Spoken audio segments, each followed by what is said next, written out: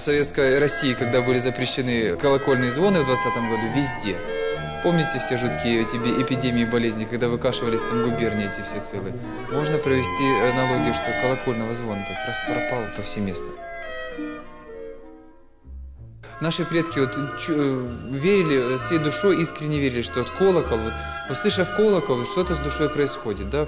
Что, почему, то есть вибрация это или, да, можно это сейчас рассмотреть с физической точки зрения, что вот в течение нескольких секунд погибают микробы, там, э, более 100 заболеваний, в том числе и гепатита, и еще чего-то. То есть связано это, исследовали физические свойства звуковой волны. Факт, что значит, вот звуковая волна распространяется в форме креста.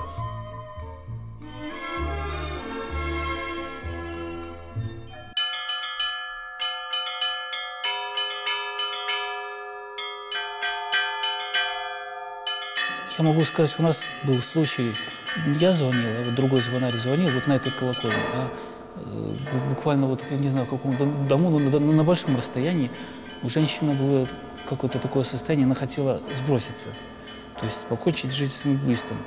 И она услышала этот звон, и она как бы эту мысль оставила, и более того, подарила два колокола больших, и они до сих пор звучат на нашей колокольне.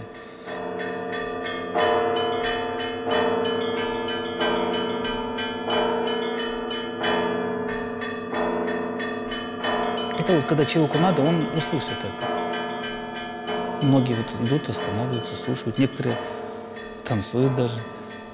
Некоторые плачут. Душевные больные, то есть одержимые, они не могут зайти вообще там на колокольню. Их не пускает сила, злой дух, скажем так. Что-то есть энергетическое. Ну, приятно находиться, приятно слушать, приятно самому звонить.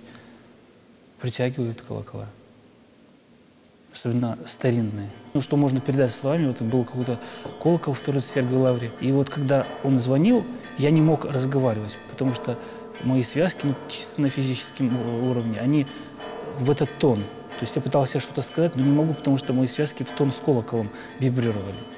Вот это единственное физически, что у меня вот первый раз, когда я там был, тронуло так.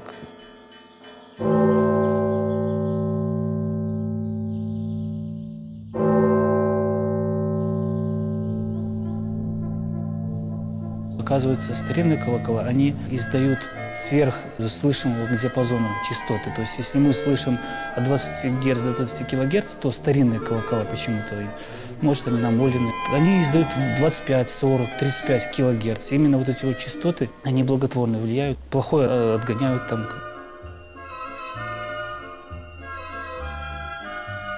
Приходишь с какой-то, ну, можно так сказать, отрицательной энергетикой, всякое бывает в жизни. Э, Звон обязательно это уберет, а бывают такие состояния, что вот звонишь, как бы слышишь это со стороны.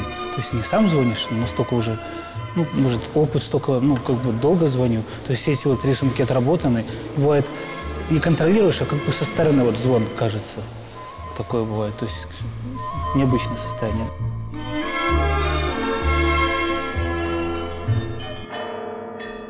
Приехали в Москву на пасхальный фестиваль. И вот мы туда поднялись на колокольню, а потом, значит, я, уже отзвонил, спустился. Дима потом звонил. И вот э, цитирую просто слова, которые там были сказаны.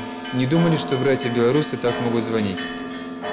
Тот факт, что потом через год э, Дима в Ярославле стал обладателем гран-при, тоже говорит сам за себя. Жюри сидело в расстоянии 200 метров от колокольни, и они э, отмечали, кто как звонит, баллы ставили по номеру. Номер первый, допустим, 10 баллов, номер второй 8 баллов.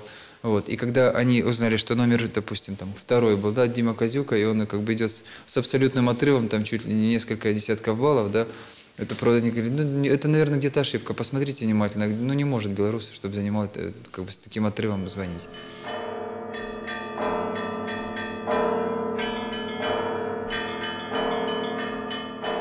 Мать моя, прихожанка этого храма, всегда мечтала, чтобы шла на службу. Ее сын звонил, благовестил, созывал. Ну вот она мне несколько раз, несколько лет подряд просила, попробуй, попробуй. Попробовал. Вот, вроде получается звонить. Ну, слава Богу, буду звонить. Бог дал дар, надо его использовать. Ну, а колокольный звон, знаете, он везде был, в во всем, что называется, в каждом дыхании наших христианских предков. Ведь в основе колокольного звона лежит наш фольклор, то есть песни, танцы, церковное пение и вот именно культура наша народная.